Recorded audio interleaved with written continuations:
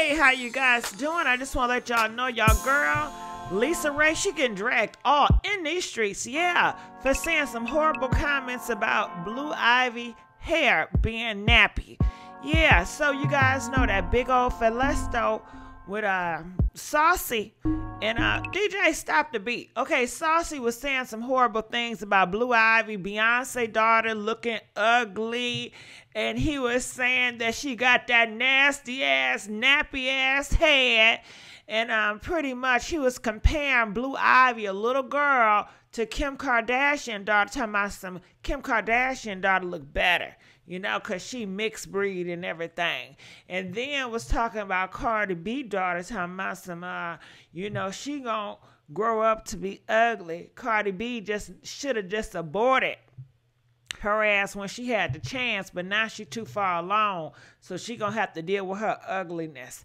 So, girl, it's been so horrible. So the girls, they're talking about her on Fox Soul, and they asked LisaRaye. They said, "So what did you think about what he said about that nappy head.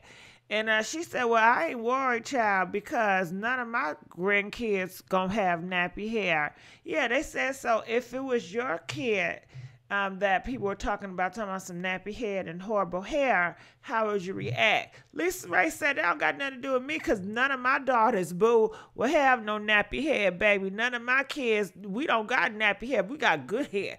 Yeah, that's what she said. That's why her behind getting dragged. But remember that character I came up with? Yeah, I ain't gonna go there that yesterday. Remember, she was concerned about her kids and her kids only. So a lot of people have that damn mentality. Now you don't want to know what I think. I do. You know I do. Girl, here we go. Well, let me go. Let me get my little cheap wine cool. Rusty Chow. Had he said that uh, about uh, baby Bella, woo, woo, woo.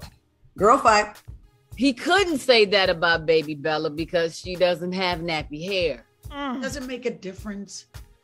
It's a child. I'll But go, I know. I'll put that for 200. Okay.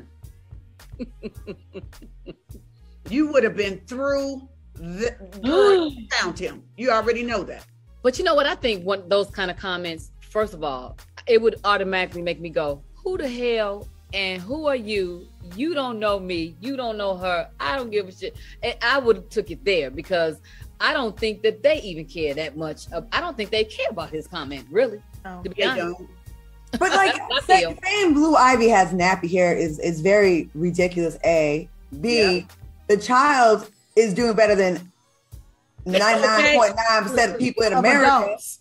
And and like hitting like Blue Ivy against North, like that's something you may amongst your little shady group in a text message. You might want to be shady with your friends, but to put that on Twitter, it was just and and saucy. You ain't Miss America yourself. I'm sorry. I hate when people do that and talk about a kid, and they, you know what I'm saying? Like you have a lot of things going on with you, and I just think that I think now you don't want to know what I think.